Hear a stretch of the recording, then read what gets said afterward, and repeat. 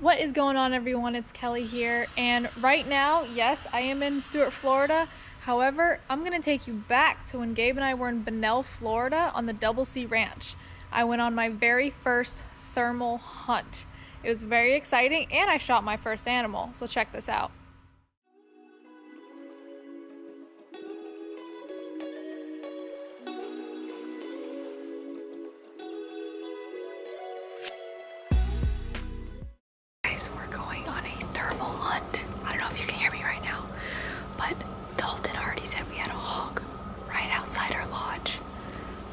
See if we if I can shoot it.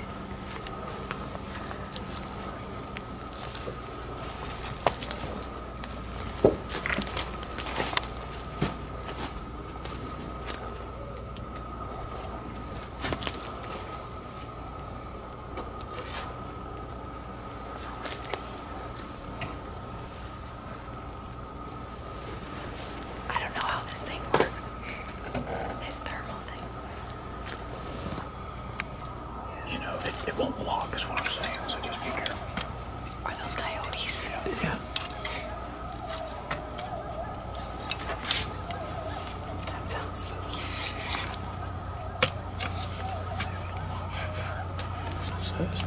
That's a 223. We're gonna get you rigged up with this 22 250. This thing has got a hair trigger. You ain't got a, I mean, it's got a light trigger, so you need to have the crosshairs on it when you're pulling the trigger. You know what I'm saying? That means whenever you put your finger on the trigger, be be where you want to hit it because it's gonna go off pretty easily. It's on safety. This is how you turn the scope on. This little right here. All you do is do that, and you hear. tick, tick. You hear that? It just turned on. Now the crosshairs will change colors once you get it on the hog. That way you know you're on it, but just put it right behind his shoulder. We're gonna ease on there, get pretty close. Just turn the scope off. You have to put your eye up against it all the way.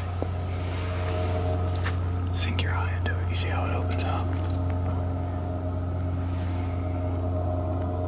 Alright, let's go.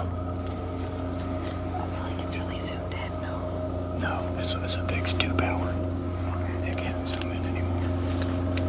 It won't work.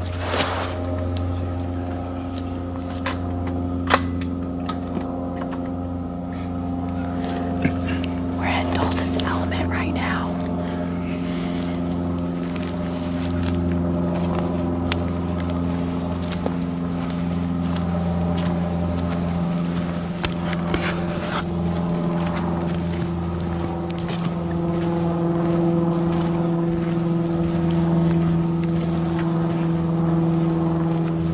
That's a big hog. He's still there. Yeah.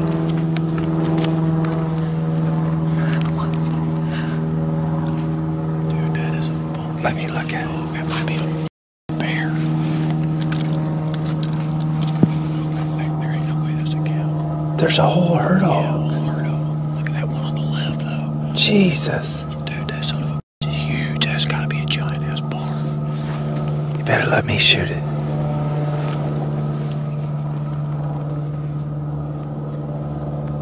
Oh my god. That thing's a monster. Oh, let me see some. Bags up, buddy.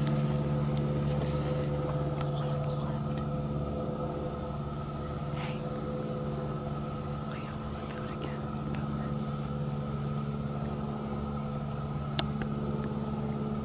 It won't. Let's go. We're a long ways from. Wait, film Dude. Are you sure those aren't cows? Those are hogs, 100%. Giant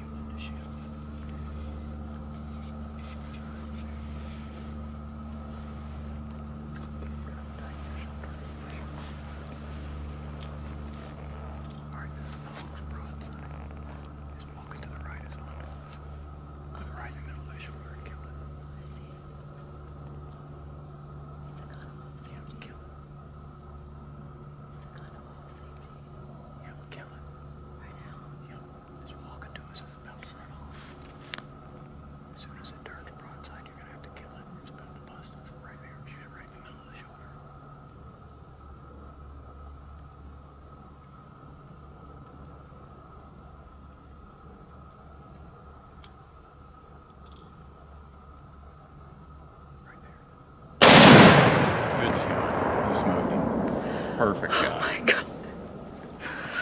I can breathe now. Come on, let's go. Quick. Kelly's first animal. Get in your clothes, Kel. What is, oh gosh. Oh gosh. Hold on, it's not focused yet. Right there. My first shot animal. A nice hog. Big bear and sow. Yeah, that's A awesome. sow too. Good eating hog. The good eating ones. okay. Oh, I'm like shaking. That was exciting. We didn't even have to get in the truck. We just walked right out the front door.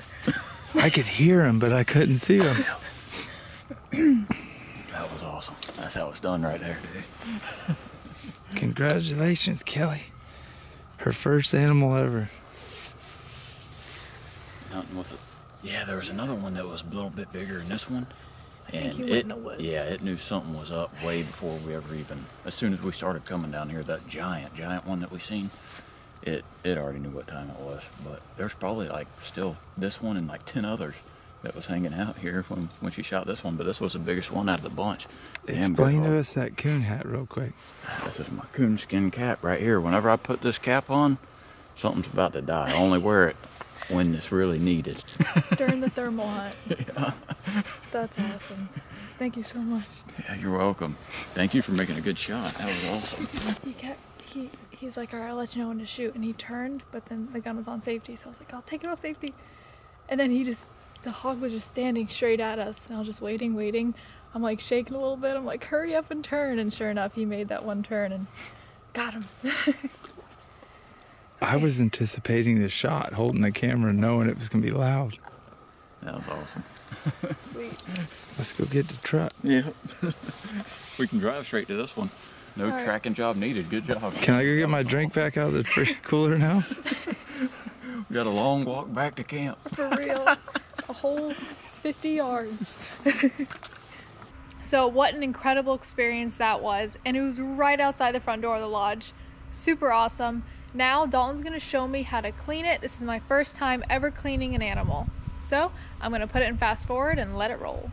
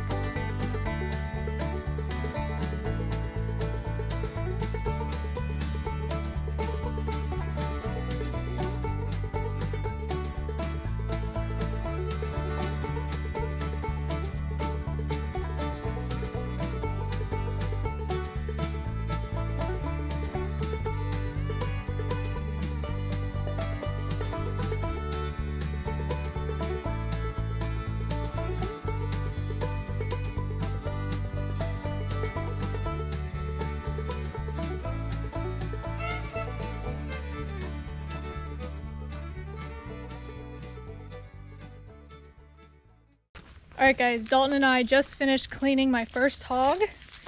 Didn't do too shabby, but I have the liver here in my hand. I'm gonna go throw it in the water and see if I can't chum up some catfish. Blue Gabe might catch some catfish later, so if he catches a big one, y'all already know why. Now, the reason I'm narrating this video from back at home is because when I came home to edit my footage, I got halfway through the video and realized that my GoPro just decided to stop recording on all the clips about halfway. And I don't know if, if anyone uses GoPros, but if this has happened to you, let me know in the comments below. You'll film something and the audio will keep going, but the image will freeze. And that's it. So I'm gonna have to narrate this video from back here, but it should be a pretty good one. So keep watching and find out how we cook this amazing piece of hog meat. Okay, so we went ahead and salted this piece of meat with some garlic salt. We got some Creole seasoning. What is this? Garlic pepper. Garlic pepper. All mm-hmm. right, let's put them in. Here she goes. Oh yeah. This is gonna be Put it so right good. there. Get our wild onions right here. I love the wild onions. garnish That's the coolest thing. Mm-hmm. So a pretty cool thing is after we put the piece of meat in the crock pot, we went right outside the lodge and picked these little green onions. I would say they're kind of like chives, um, but we seasoned that with those green onions as well. Threw those in the crock pot and we let the roast cook all day and all night. Oh, and let me tell you, in the morning, that was the best roast I've ever had. It just peeled right, like, it was incredible. It was so good. However, we had to pack up in the morning and get on the road and head back to Stuart. As for the hunt last night, I didn't see any buck. However, I saw a bunch of does, cows, and I got some incredible footage for you guys. Dalton and Blue Gabe saw a buck. Actually, Dalton saw two bucks. Blue Gabe saw one and he let it walk. Um, however, I didn't see any, but that's okay because the main thing about hunting, and same goes with spearfishing, is that even though you don't shoot something or you don't get the target that you're going after, you're still engulfed in the environment that you love. So that's what I love about hunting so much is even though I didn't shoot a buck, I was still in the outdoors, just observing things. And I mean, when you're sitting in a tree stand, you'll see things that you normally don't see on your nature walk. All right, you guys, and I also wanted to give a special shout out to Dalton. He specializes in these thermal hunts. It was an incredible experience, unlike anything I've ever done before. So if you guys want to come do a thermal hunt, check out the Double C Ranch. Reach out to Dalton. I'll put all the information in the description below. Also, if you guys just want to go out for a weekend, spend your time in the woods, you don't even have to go hunting. They rent out the lodge as an Airbnb. So if you guys want to just get in the woods for a weekend, get away from society, reality, and have a campfire, roast some marshmallows, you can do that as well. But again, I'll have all the information in the description below. Be sure to check it out. It is a great crew of people and a really awesome ranch. So three does came out of the woods. They were eating acorns, and then a cow came over to feed with them and spooked them. It was quite comical.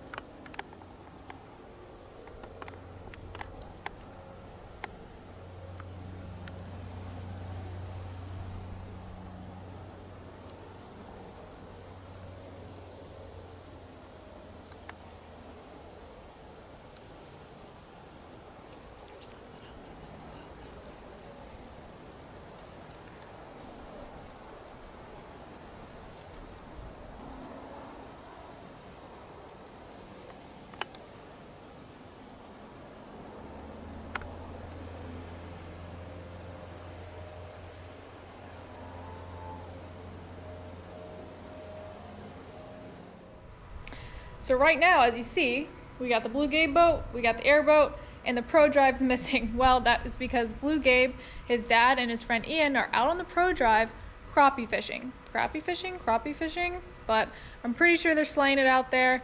I stayed back and I've been organizing footage, trying to figure out this hog video since all my footage got messed up. And I've been doing a little bit of Christmas shopping. so I just want to say thank you to everyone watching this video, everyone who's been watching all my videos, and also Blue Gabe's videos as well. And I just want to say happy holidays, and I'll see you guys on the next one.